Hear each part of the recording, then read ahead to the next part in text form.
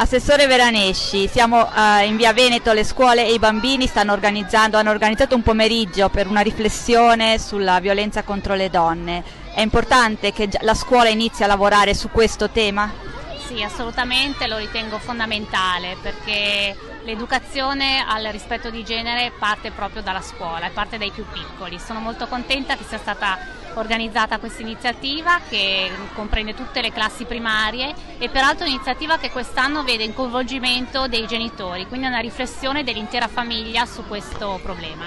È il secondo anno questo che si, si svolge questa, questo evento? Sì, l'anno scorso avevano fatto i bambini, comunque avevano presentato sempre dei disegni, dei canti e quest'anno in più c'è questo coinvolgimento proprio attivo dei genitori che adesso accompagnano i bambini e eh, li aiutano a decorare quelli che sono i manifesti che i bambini hanno realizzato in classe.